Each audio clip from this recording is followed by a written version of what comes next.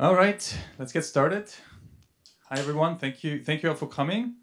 Uh, my name is Roland Vogl. I'm executive director of Codex, uh, the Stanford Center for Legal Informatics. Uh, Codex is a joint center between uh, the Stanford Computer Science Department and the Stanford Law School.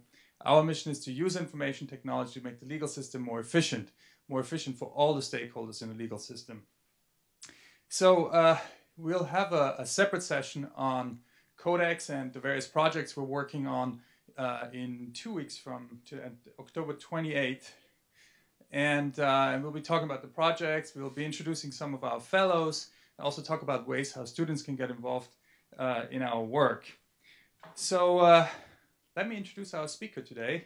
Uh, it's uh, my distinct pleasure and honor to introduce or welcome Professor Harry Surden back uh, Professor Surden is a law professor at the University of Colorado in Boulder, uh, where he uh, teaches uh, patents and copyright, uh, but also applications of computer technology to the law, which is obviously the area that's of most interest to us. Harry was also our very first Codex Fellow. he's really set the bar very high for all following Codex Fellows. Um, and uh, he's also uh, affiliated faculty uh, with Codex. So Harry, it's wonderful to have you back. Uh, when he was here uh, at um, Codex, he was also involved in our uh, intellectual property litigation clearinghouse project, which um, now is better known as, as Lex Machina. and, and he was the director of the Computer Science and Law Initiative. he received his law degree with honors from uh, this very uh, law school. And uh, actually, prior prior to going to law school, he was a uh, software engineer with uh, Cisco and and Bloomberg. Um, and uh, yeah, so his talk today will be on machine learning within the law, which is an area that that's really becoming quite quite hot and is of a lot of interest. And so, without further ado, I'll turn it over to you. Thank you so much, Roland.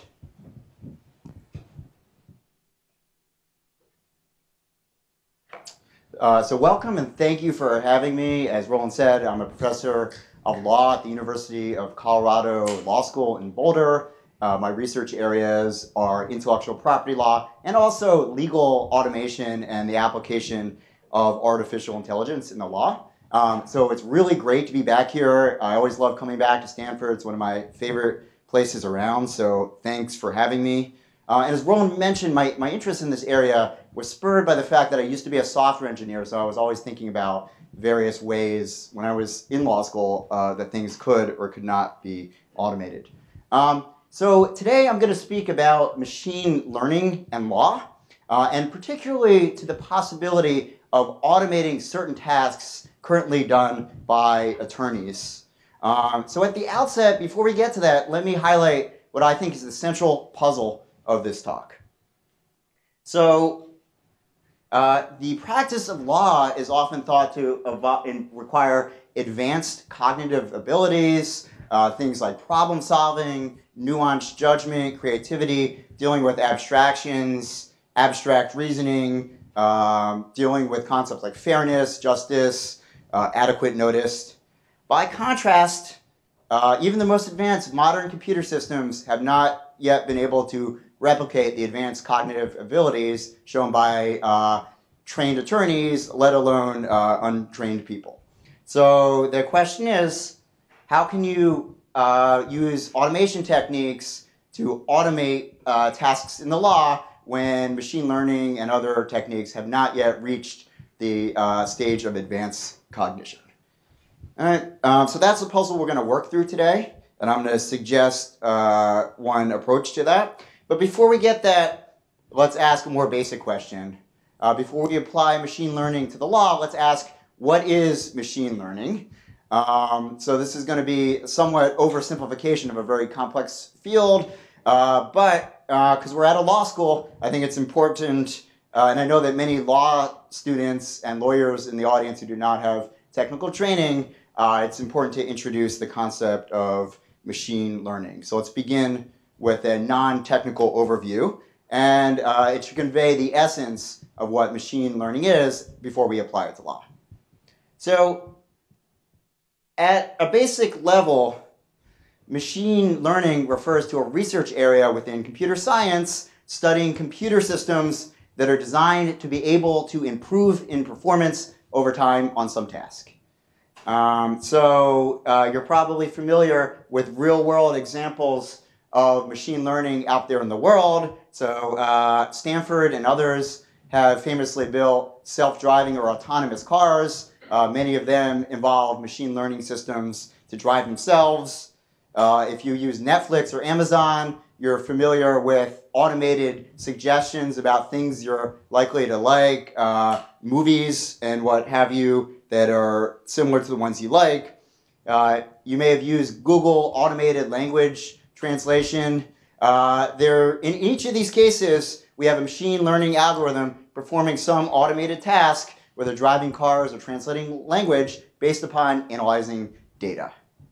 All right, so machine learning is thus considered a branch of artificial intelligence because a well-performing machine learning algorithm can often produce automated results that approximate those that would have been given by a similarly situated person and thus appear intelligent. So there are many more contexts that machine learning is being used today that I haven't gotten into, including automated drug discovery, uh, internet search results, etc. All right, but in general, we can uh, summarize the types of things that machine learning algorithms tend to be used for.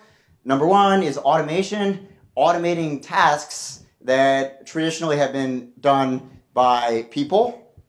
Uh, number two, predictive analytics, which is analyzing data from the past to make predictions about the future. And then uh, what might be called data analytics, which is finding non-obvious relationships within data. So for example, it's been found that your credit card score, your FICO score, predicts your likelihood of crashing your car, right? So this might not be an obvious uh, relationship between credit risk and uh, car risk, but that's been determined, or spotting outliers, for example, in fraud detection. Um, okay, so that's generally what machine learning is used for. Uh, before we get a little deeper, I'm going to make three main points about machine learning that will be relevant to our discussion uh, about applying machine learning within law. So number one, machine learning algorithms are designed specifically to learn. That means that they can improve their performance over time on some tasks such as analyzing data or uh, driving, right? So I want to emphasize this is largely a metaphor for human learning, right? It does not imply that the computer systems are artificially replicating the advanced cognitive systems thought to be involved in human learning. Uh, rather, we can think of this learning as occurring in a functional sense. Why? Well, we often think of, we often measure whether people are learning or not by seeing whether they are performing better at some task that they're practicing on. Analogously, uh, we can consider machine learning algorithms to be learning, uh, in quotes, if they perform better on whatever task uh, they are practicing over time. All right, so this is a functional view of learning, not a literal view of learning. Number two, at a basic level, uh, we can think of most machine learning algorithms as very sophisticated pattern detection systems. So at the very base, many machine learning systems involve analyzing large amounts of data and finding non-obvious patterns within that data that can later be generalized to make useful automated decisions. So think again about Netflix. They're looking through millions of customer uh, information about uh, their customer viewing preferences and uh, trying to find patterns. So customers who tend to like movie X tend also to like movie Y, and then they're going to match it to the pattern that they think uh, fits you the best, right? And then finally, data. Relatedly, machine learning algorithms uh, generally require data, often large amounts of data. So the ability to engage in machine learning usually goes part and parcel with the availability of data. If there's no data, generally no machine learning. Uh, but conversely, if there is data out there, such as there often is in the law, there's going to be the possibility to use machine learning algorithms to make useful analysis. All right, so let's look at a simple, specific example of machine learning that will illustrate these principles, and then we're going to generalize and apply it to law. Um, so most of you are familiar with email spam filters. This is kind of the classic example that's often given to illustrate machine learning because it's so familiar uh, to people out there. Right, so we all have email coming in. Uh, some email is wanted email, other email is unsolicited commercial email, otherwise known as spam. So many uh, email systems will use machine learning algorithms in order to automatically classify incoming email as spam or wanted. All right, so uh, these algorithms work by detecting patterns in your incoming email or email in general and trying to find likely indicia of something being a spam email or a wanted email. So just to give you an example, uh, imagine that email comes in and you recognize it as spam and then you flag it as spam. Well, you've now told the email program, here is a verified instance of spam, uh, start analyzing it. And the email program can start looking for uh, patterns within the spam. So if the email system has many such known examples of spam, it can start looking for patterns, uh, telltale patterns that distinguish spam from regular email. So in one machine learning approach called naive Bayes classification, the algorithms look for the relative prevalence of certain words uh, in the text of spam and regular emails to determine the probability of spam or emails. So let me just give you an example, right? So let's imagine that the algorithm, after examining 100 emails, uh, determines that the phrase earn extra cash or earn cash um, appears in 10% of emails marked as spam and 0% of emails marked as wanted uh, emails. This is a pattern that the algorithm can now use as a predictor. Right? It can predict how to differentiate future incoming emails as either wanted or spam. So they can use such detected patterns to make automated decisions about the likelihood or not that a particular email is spam. So that's part one. So another thing to think about is the following. Machine learning involves algorithms that learn over time, right?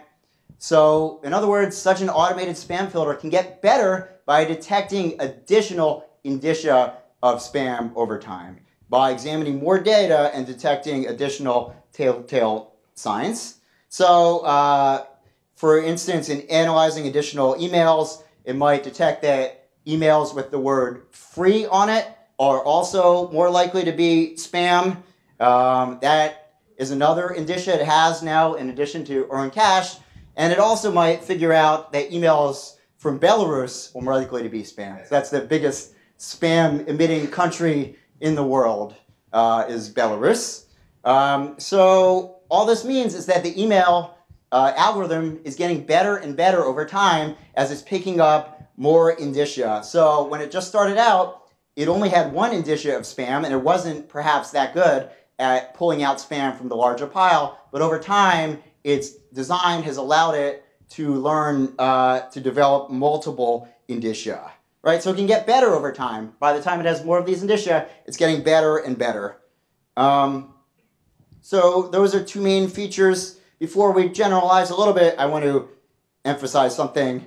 Uh, I vastly oversimplified a very complex field. There are many more algorithms and approaches than the ones that I just went over, so I don't mean to uh, feel that I've taught you all machine learning in 10 minutes. Um, I just want to make that out, uh, mention that for the computer scientists out there in the audience.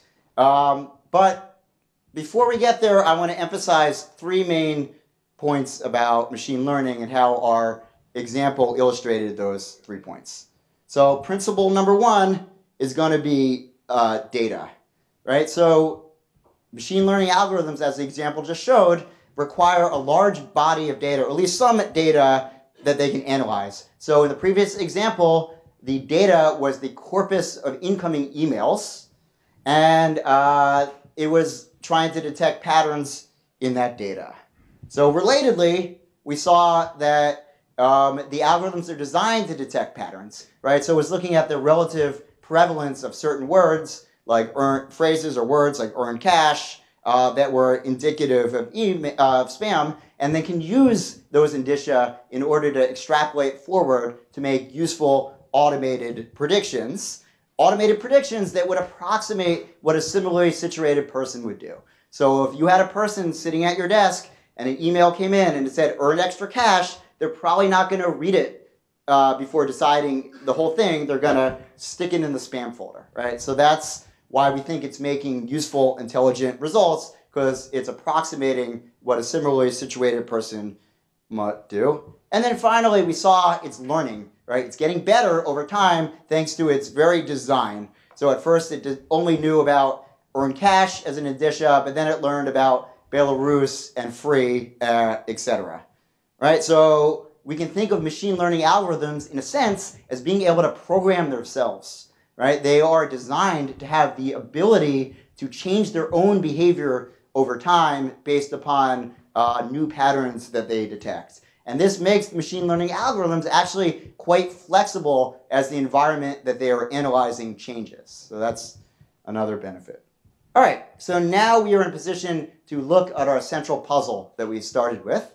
So recall, we said that the practice of law involves advanced cognitive skills, including judgments in environments of uncertainty, and the understanding of abstractions, things like reasonableness, justice, uh, negligence, uh, and also a series of what economists sometimes called tacit knowledge and skills, things like uh, creative intelligence, um, fluid intelligence, problem solving, uh, things that are hard uh, to capture programmatically. Uh, but notice what I did not say about machine learning, right? I did not say that machine learning uh, has replicated, nor does it aim to replicate the higher order cognitive processes that people display when they're problem solving the way attorneys do. Or I didn't I also didn't say that machine learning does not replicate the learning processes, nor does it aim to, of those uh, engaged in by people. Uh, and in fact, we know that even the most advanced artificial intelligence systems can't match uh, the analytical skills of even very young children in certain circumstances, let alone uh, trained attorneys. So our central puzzle is how can legal tasks be automated when we have this uh, incongruity? So I'm going to suggest uh, a basic principle here that's going to uh, provide the dividing line and perhaps somewhat of an answer. And that's called intelligent results without intelligence. So what does that mean? That means that there is some tasks that are, when they're done by people uh, involve the use of higher order skills such as abstract reasoning or problem solving.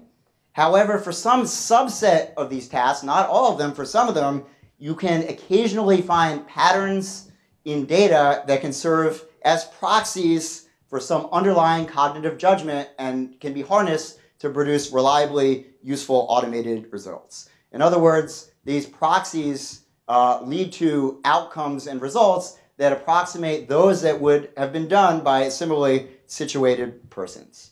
All right, so in some cases, you can get intelligent results without intelligence. If you can find suitable patterns within data that are good proxies for some underlying cognitive judgment. Now, I think when I look at a lot of the machine learning systems I've looked at over the years, I think they're based on this very principle that one does not have to necessarily replicate human cognition artificially in order to produce useful automated results if you can find useful proxies in the data.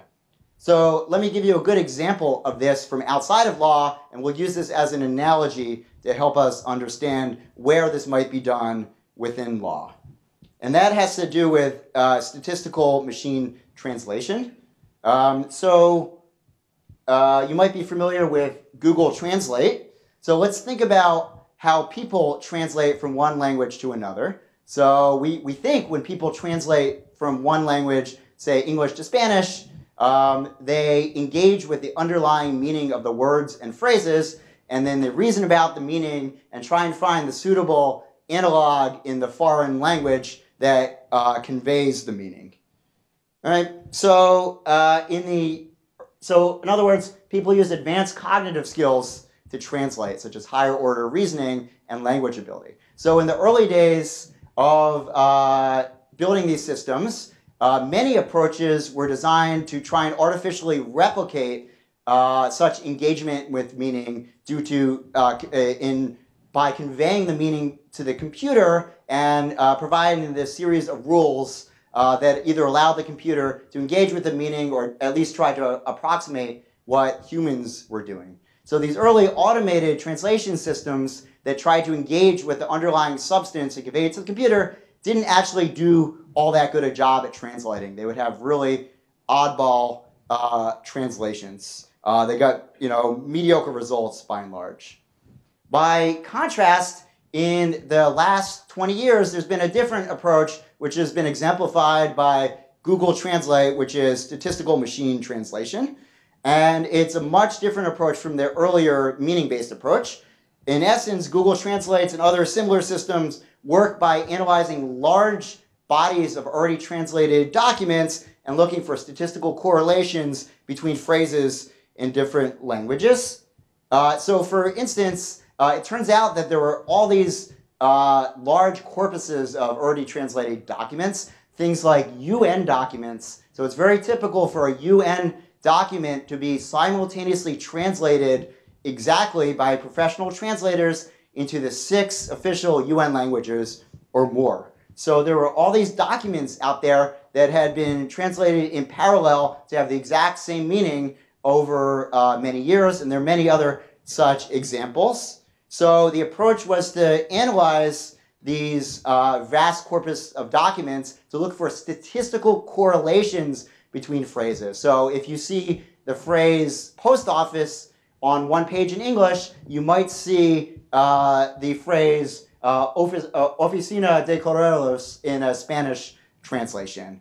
Right? So uh, such a statistical approach, if you ever use Google Translate, uh, uh, results in surprisingly good translations. far from what a professional translator would do, but still pretty good. But the notable point, it does so without actually engaging in the underlying meaning or substance of the phrase it is translating. So in other words, unlike a human who if asked what a post office is in Spanish, thinks about what a post office is, and then reasons about what the analogous meaning would be in Spanish, um, the statistical machine learning algorithms have no idea what a post office is, nor do they care. Right? All they have is a set of data with a statistically meaningful correlation showing that Oficina de Correos appears at, uh, with a very high frequency uh, along with post office. So in other words, it doesn't engage with the underlying meaning, abstraction, or substance, yet can still produce useful automated results. So this is an example of getting intelligent results without intelligence. If you can find patterns in the data that can be indicative of some underlying phenomenon, such as translated phrases or spam, that when done by people requires engaging in cognition you can sometimes get automated results. So I think we can think of this as a more general principle um, for automation uh, within law. Right? There are some tasks that require advanced cognitive skills when done by people, such as language translation, but you can sometimes detect patterns that can serve as proxies for some underlying cognitive task. Right? So this is our uh, the essence of the argument here. Um, so let's apply this idea to law, right? Just applying the very same idea by analogy, uh, while legal practice often involves abstract reasoning and cognitive processes, for some subset of legal uh, tasks, we may be able to find patterns in data that serve as proxies for some underlying task, normally requiring cognition that can produce useful results. All right? So that's the general form of the argument here. So of course I'm an attorney, so let me start with a caveat. All right? I'm not saying that we can automate all or even most tasks done by attorneys. I'm not saying that at all. Uh, it may not apply to many uh, tasks performed by attorneys, and I'm going to draw some principles where I think we can, where we can't do this later on. So all I'm saying is it likely applies to some tasks that are done by attorneys, and I'll give some principles for telling uh, how, but they're not always suitable patterns in data uh, that can lead to useful legal results. Okay, so we'll look at some of those shortly. Uh, so let's look at the application of machine learning within law using the principles I just described and also looking at some real world examples. That's hard to read. It says applying machine learning with law. It's clear on my screen here. Um, all right, so where to find patterns? Well, one place is the large universe of legal documents. Uh, so law is in some significant part all about documents. All right, so much of what lawyers do involves the production, reading, and application of documents to real world facts. So I use the term documents broadly, uh, legal documents, to mean things like uh, court cases, sorry, court opinions, contracts, statutes, rules, regulations, patents, etc. Anything with words on a page that have some sort of legal significance or meaning.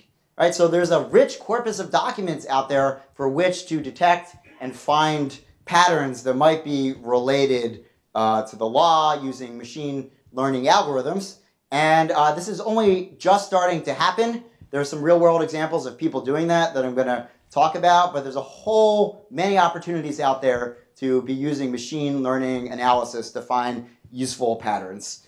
So um, the most obvious example of this that people talk about the most uh, involves litigation discovery. So some of you may be familiar with something that's often called uh, predictive coding, but it basically is the involves the automated analysis of documents during the discovery phase. But for those of you who are not attorneys, let me provide a, a bit of context so you can understand how this works. Uh, during a lawsuit, there's a, a, a phase called discovery where each side gives the other side lots of documents. Often these documents can, uh, can run in the hundreds of thousands or even millions. And it's up for each side to look through this mountain of documents to find the 10, the 20, or the 100 out of a million that might be relevant to the point of law that each side is trying to prove. Right? So they're kind of looking for a needle in the haystack to find the smoking gun piece of evidence that's going to uh, help their side or not. For maybe a smoking gun email where uh, one party admits that they did the thing that they're trying to prove. Um, so, not too long ago, uh, the job of looking through this mountain of documents was entirely done by uh, poor junior associates, uh, you know, sitting in windowless rooms looking through mountains of data, trying to decide whether an email was or was not relevant. So by and large, it still is done by people, but more recently, some uh, parties and law firms have started using machine learning algorithms to help work through uh, aid sorting through the documents, right? So they can do a couple of things. You can provide the machine learning algorithm with a couple of examples of relevant documents, and it can, on its own, figure out what is relevant about the document by looking at multiple examples. So, for instance, maybe the likely uh, date range. Maybe there's a range of dates that are relevant, and there's a whole range of dates that aren't, and it can learn from that and uh, filter it out, uh, or it might learn other things, or you can tell it things that you think are relevant. Um, and uh, in some cases, some studies suggest that the algorithms are outperforming the attorneys for certain tasks, but not all tasks. But no, notice that attorneys are still involved. So at the end of the day, you still need advanced cognitive abilities of an attorney presented with an email to decide whether or not it's relevant to the law or the facts of the case. The computers are not able to do that with any bit of reliability. Rather, what we can think of the computers as doing is shrinking the haystack, right? So if you're looking for a needle in the haystack, uh, instead of having attorneys comb through a hundred, uh, I'm sorry, a million emails, uh, maybe the computer can shrink the haystack so there's only 5,000 or 500 emails that require detailed attorney review. So that's one example of where machine learning is being applied to look for patterns to automate a task formerly done uh, by people. Um, another really interesting example involves legal prediction. So one of the big tasks of an attorney is uh, to provide predictions about legal consequences or outcomes for their clients, about risks, liabilities, the outcome of cases. So uh, one possibility of machine learning is to look at vast data about past court cases to make predictions about the outcomes of similar court cases, right? And it's not just the outcomes of the cases. You could predict things potentially like damages or uh, potential for liability or likelihood of settlement, etc. So we're starting to see some work in this area, both from professors and from some startups here. Uh, so a really interesting paper I suggest you look at is one released recently by Michigan State professor Dan Katz, uh, computer scientist Michael Bommarito, and Professor Josh Blackman called Predicting the Behavior of Supreme Court Decisions. And there, what they did was they uh, took all the Supreme Court cases of the last 50 years or so, put it in data, and ran a machine learning algorithm through it so that it built a model that was able to predict with surprisingly good accuracy the individual uh, vote counts of the justices and was able to make uh, very good uh, predictions about the outcomes of cases. And it was robust enough that it was able to survive changes in personnel over the court. So, I mean, this is just some early work, but it's likely that work like this could be used to extend uh, legal prediction and possibilities. So that's something interesting to look at. Uh, let's look at some more different trends that are going on. Um, this is sort of the somewhere in the future and the current. Finding non-obvious relationships with legal within legal documents. So uh, companies often have hundreds of thousands or millions of contracts. It's hard to keep track of them. Uh, you might be able to do automated contract analysis in order to find non-obvious similarities between in your vast corpus of documents, or you might be able to find similarities between documents that seem unrelated. Um, analyzing contracts for content, so analyzing contracts and pulling out the different parts. There's some startups that are doing this currently where they're applying machine learning to try and identify the different parts of the contract document and what they're useful for to speed up things like due diligence and uh, contract automation.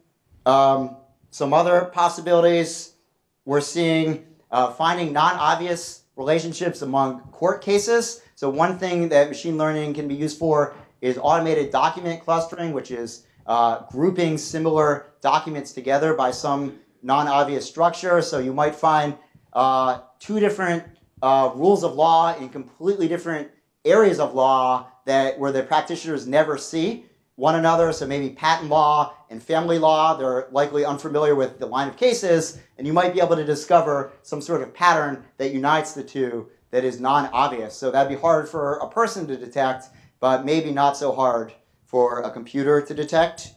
Um, one thing I'm a project I've started at University of Colorado is using machine learning to automatically detect prior art and patent law. So um, I teach patent law, so this has been an interest of mine. So some of you may know uh, the issue here, but if not, I'll briefly explain it. Um, so as you may know, a patent shouldn't issue unless it's new and non-obvious. And the way that's determined is by patent examiners uh, finding what's known as prior art. And these are generally prior uh, patents or patent applications or journal articles that show that the invention or something similar to it had been invented before.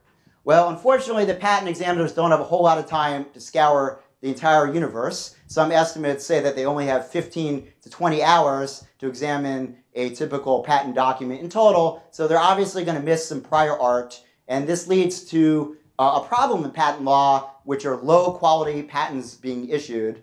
And uh, these low quality patents are often used by non practicing entities, otherwise known as patent trolls, uh, to engage in lawsuits. So if you can improve the prior art uh, finding process, you might be able to improve the overall quality of patents and reduce the problem of patent trolls directly rather than indirectly. So that's a project I'm working on. If you want to talk to, about it offline, I'm happy to. Um, but before we get there, let's just generalize about what's possible in law. So I think wherever there is data in the law, there might be patterns under there that are indicative and can be used for automation. And I really think the only way you find these patterns is by going in and running them through the algorithms, right? So you have to find the data, run it through the algorithms, and see if the algorithms tell you or notice any measurable patterns, right? And you can do that in combination with some uh, domain expertise uh, in combination with attorneys, or I recommend that you do that in combination with attorneys, uh, so you make sure that you have realistic assumptions. Um, however, back, back to attorney mode, uh, I want to emphasize that there are severe limitations to this approach, right? So I want to say that most of the tasks performed by attorneys I don't believe are automatable in this way, but some are, right? So I think a lot of the value added by attorneys is not automatable in this way. Uh, a lot of the value added of attorneys is problem solving and uh, providing uh, analysis in environments of uncertainty and fluid intelligence and recommendations and dealing with abstractions like fairness and justice. So there's a whole range. In fact, most of what attorneys do and most of why they're valuable, I don't think this is possible. Uh, however, I do think it is possible for some subsets. And here, here are some of the principles for telling uh, what is or is not possible, I believe, or where it's not useful.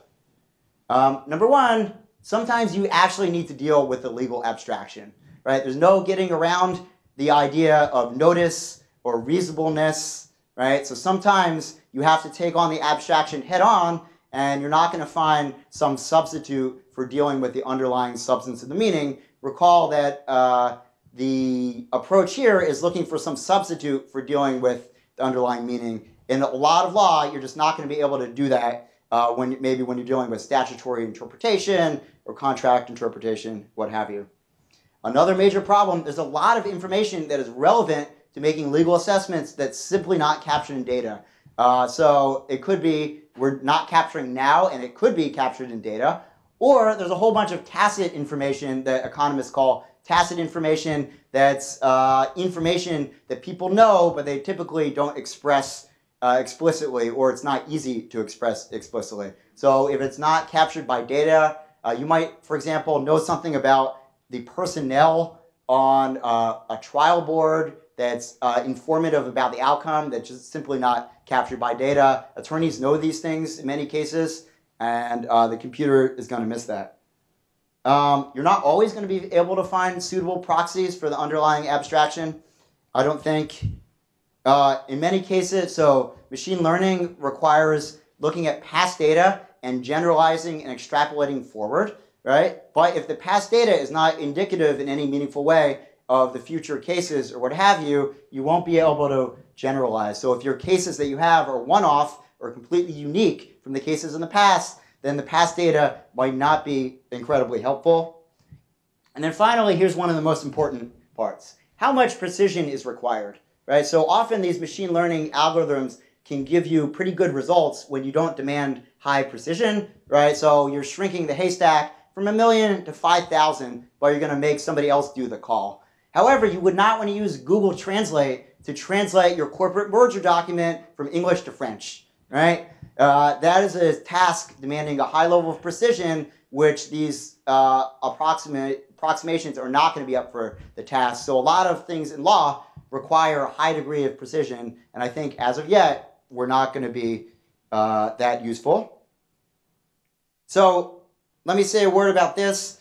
A lot of people think that, uh, are fearful because they think the technology is going to be replacing humans. Um, so a lot of people think, you know, this has put uh, some junior associates who used to review documents are no longer doing that. But I, one way to think of it that I find more helpful is not about uh, humans being replaced by computers or technology, but being enhanced by technology.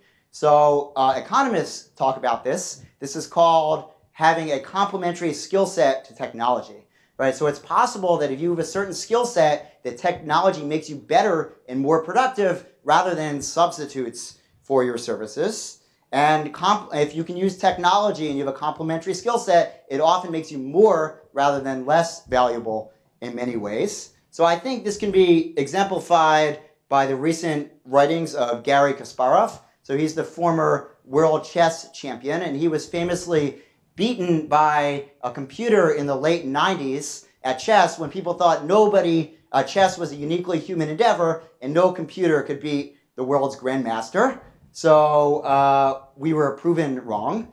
But so even today, uh, even very basic hardware running advanced software can beat your typical world grandmaster. So your average computer uh, can beat the best chess players in the world pretty easily these days. But one interesting thing that Kasparov notes is that when you have chess masters paired with chess computers, they are unbeatable. So uh, a human can't beat the combination of a chess master plus a computer, and a computer can't beat the combination of a chess master of the computer. So the takeaway is that often humans plus computers are going to be more valuable than humans alone or computers alone. It's sort of a complementary view of things. So I think there's the same analog in uh, law. I think these technologies can make lawyers better. It's not uh, not replacing them because I think a lot of the value added uh, that lawyers give are things that compute that are not being automated these days.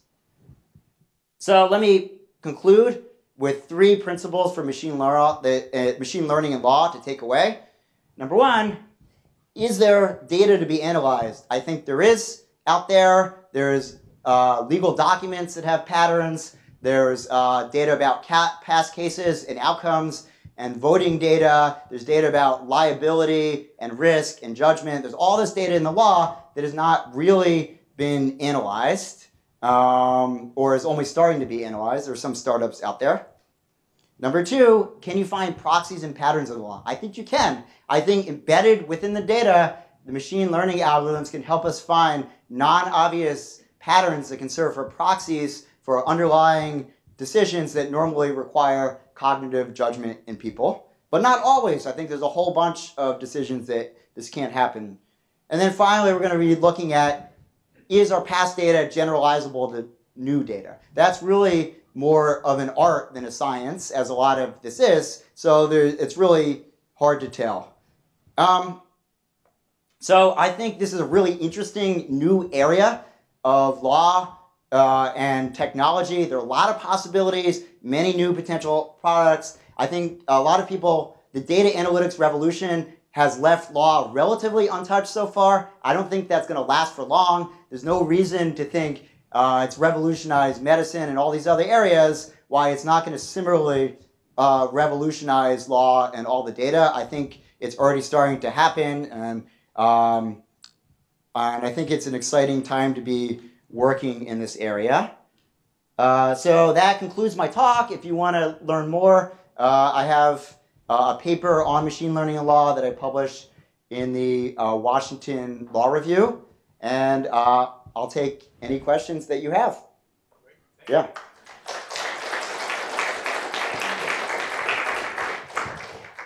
Questions?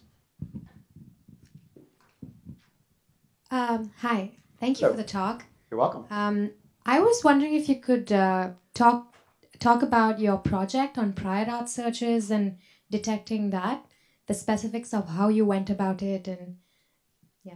So that that's really easy to answer, and it's very early. So there's not a lot of details at this point. I'm just putting together. I've just started it in the last uh, couple months. So uh, maybe by next year or two years, I'll be standing here and providing those details. But unfortunately, we're just figuring it out at this point.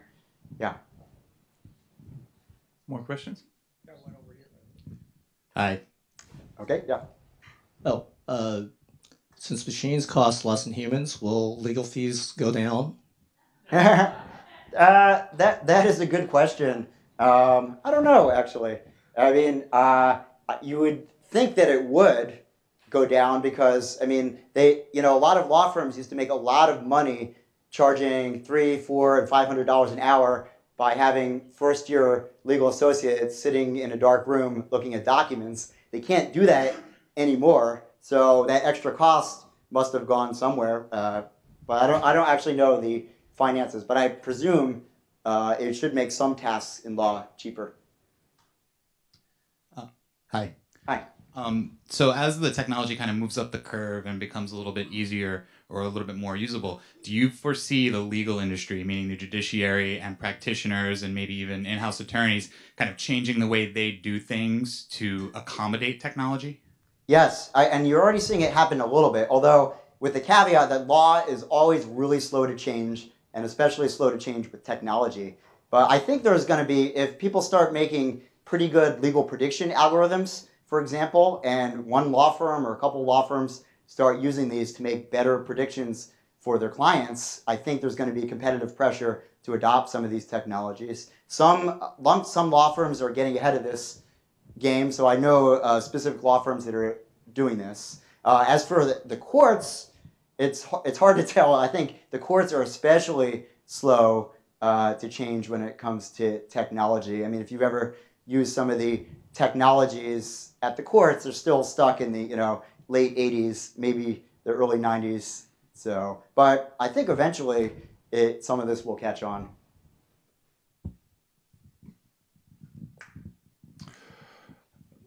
Uh, Harry, this is uh, Randy Nickel. Many, much of your comments today had to do with uh, machine learning as applied to uh, what we might say the adversarial relationships, litigation, for example. Uh, you've also written quite a bit about, uh, for example, computable contracts, which are ways to reduce the friction. So from a business standpoint, we're, we're very much interested in lowering the cost of, of basic transactions, which computable contracts offer the, the potential of, of doing. Could, could you could you comment on, on tying these together a bit because um, I, they seem complementary. Uh, you spoke of the one today, and you've done a lot of work on the other. So yeah, I think you're absolutely right that they're complementary. I think it is different tool sets for different jobs, right? So uh, when you have some firm structure in place, uh, and it's useful to represent that structure, like as in a contract, computationally, you want to go the logical rules-based approach, and when you demand precision and accuracy, you have to go that approach. However, if you're uh, you've got a large amount of data and you're looking for approximations or patterns, which is just a different task. You might be looking through, uh, you know, uh, 100,000 contracts to find some pattern, then you would go on the machine learning approach. So I think they're just complementary tools to deal with different uh, tasks that any company or law firm might have, and you kind of have to match the tool to the job that you have. Does that answer your question?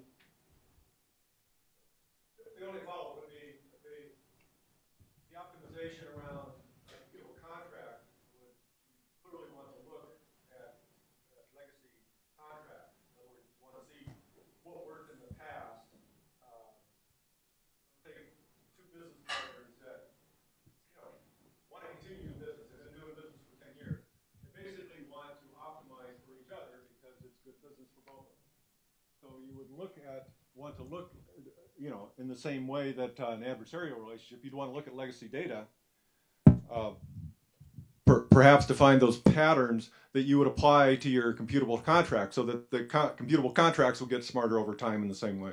That's a great point. Yeah, so they can be complementary to each other in the same task, right? So you can use machine learning to discover rules or patterns that can be useful in the computable. That's completely uh, right. And a lot of the advanced systems, I should say, out there in the world, not in law, use both a combination of rules and machine learning together, uh, some sort of domain knowledge uh, on top of uh, statistical approach. Yeah. Hey, um, so I'm working on a piece right now that um, analyzes what's going to happen to the legal industry as we go from keyword search to semantic um, driven search. And as I've been doing my research, I'm realizing one of the core problems is, is that keywords are very well understood how we go about operating those searches. We string together a bunch of words, whereas semantic, you put in text and you don't really know what the algorithms are doing. Um, and I I keep thinking, you know, you can't not all semantic search is made equal um, and each is different for its applied purpose so do you ever foresee anything like an association of legal semantic technologists that can kind of sit there and analyze what that semantic search is doing and, and kind of either certifying it or communicating it in a way that lawyers can understand. I, I mean, I think it's an interesting idea. I mean, I think it's worth thinking about the idea of standardization. Um, I mean, it reminds me of some of the other standardization approaches that they've had in law over the years, uh, and they often find to mixed results that you know there's the illusion of standardization, and then it kind of falls apart on the corner cases. But I think it's worth exploring, actually. Yeah. Yeah. Yeah, uh, it's a related question. Okay. So are you seeing any cluster of businesses or industries acting with uh, purpose to adopt machine learning? So the law serves banks, the law serves uh, government contractors. Um, how do you see sort of machine learning patterns in in the predictability of those relationships? And uh, yeah, so uh, I've not, I don't have any hard evidence of that, but there's anecdotal evidence that it's happening out there in, in the private sector, uh, especially in some investment firms. But uh, a lot of people are very secretive about what they're doing, uh, not surprisingly.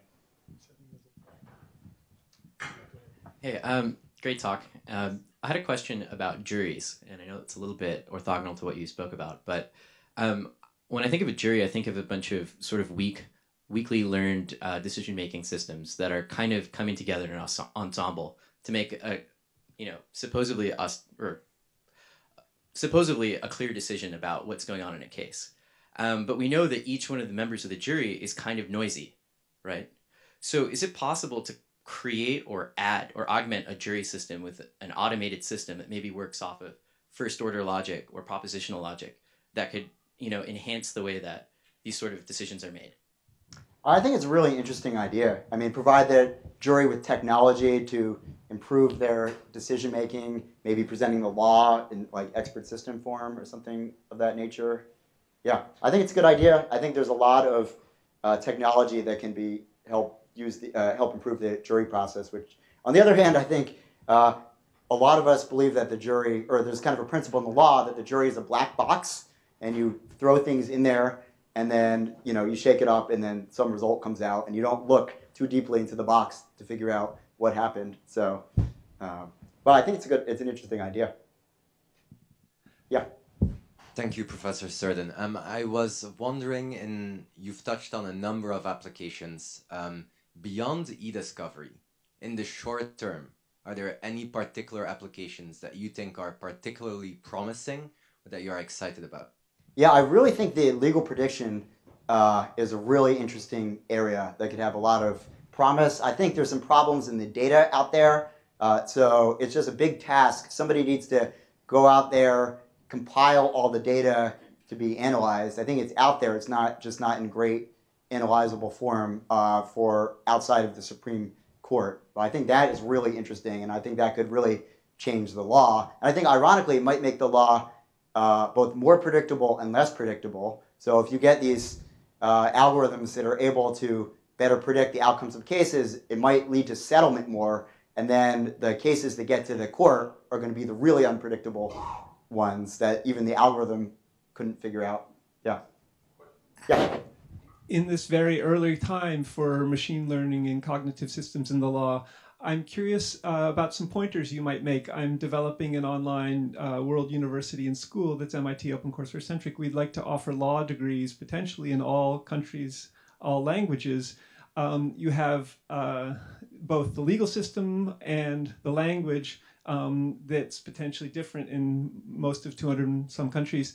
Um, in terms of data, in terms of um, prediction, in ter- um, where would you focus um, sort of a, a semantic um, sort of data approach in this in this amazing amount of uh, potential for pattern and data? Wow, so that that is a great question. I think a really laudable goal. Uh, I think that's something you know uh, maybe I should think about a little bit, and we can talk offline because I think it's a really complex answer. But I think it's a really interesting project, actually. Yeah. Yeah. What Peter said. Um, I think we already have companies that have aggregated all the data online.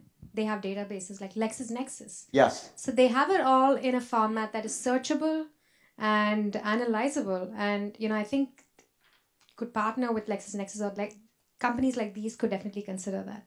Yeah, yeah, you're absolutely right. So there is a whole lot of data out there that's in electronic form, uh, and that's good. I think there's there needs to be a little bit more in terms of structuring to make it useful to analyze. But you're absolutely right. I think there's a good head start in terms of data if some of these private companies would partner and open up their vast troves of data. Yeah. If the jury is such a black box, could it be replaced by artificial intelligence? Well, that's a good question. So, I mean, in my view, a lot of what law, what happens in law, is serving a social functional role, right? So we're not always, or even usually in the law, looking for a right answer uh, or the truth, um, right? Because a lot of times, you know, truths are socially constructed, or we don't really know what the truth is. In many ways, we can think of the functions of the law as a process that we're going through uh, in order to achieve societal harmony. So I think the jury, in addition to being a truth finding, serving a truth finding function, is also serving, you know, uh, a societal uh, performative function uh, in showing that, you know, you're being adjudged by your peers and the legal judgment has been confirmed by somebody or a group of people like you. So, my, so I'm skeptical about that for that reason. Um, I, I was just wondering, and you may not be able to answer this. I was wondering what your how you may think uh, uh, the legal industry uh, will change after uh, legal technology becomes more popular. Specifically, I was wondering, uh, do you think that law firms, especially the larger ones, may end up adopting uh, maybe a software technology department in order to generate te- technology that's more conducive to their firm in order to gain a competitive edge other over other firms. Is that something that's happening now? And if not, do you think it would happen eventually? Yes. So uh, it is happening now in a very few. So I know two or three law firms that have in-house technology departments that are doing things like data analysis and developing tools. So a lot of law firms have basic IT departments, uh, but there's some more forward-looking uh, firms that are doing exactly what you said, trying to get a competitive edge. I think it'll happen more. I don't know that it's uh, we figured out whether it's totally paid off yet, but uh, and there's some law firms that are going around using it as a marketing strategy too. So that may be a, a good tool. So you spoke about that, um, the legal prediction um, algorithms and that paper, but I was wondering if you could, at a high level, give us a sense of the nuts and bolts. Because in a way, Supreme Court decisions are the gold standard decisions you know they want to be so justified so they got a nice findings of fact and background and theoretically their decisions based on applying a lot of those. So what are the kind of proxies that the softwares look for or that help them uh, with uh, having a good prediction rate? Yeah so i don't remember the, the exact details but it is things like you know uh, what circuit does the appeal come from? There's a correlation between some justices in the circuits you know whether uh, you know, is it a First Amendment case uh, or is it, uh, you know, Uh, legislative in, uh, interpretation case? Uh, are there certain topic areas? Uh, you know, is it uh, gun rights or abortion or things like that? So, but there's a whole suite of data out there, all those different variables, some of which are more or less predicted. But I think you're onto a larger point, which is, and this.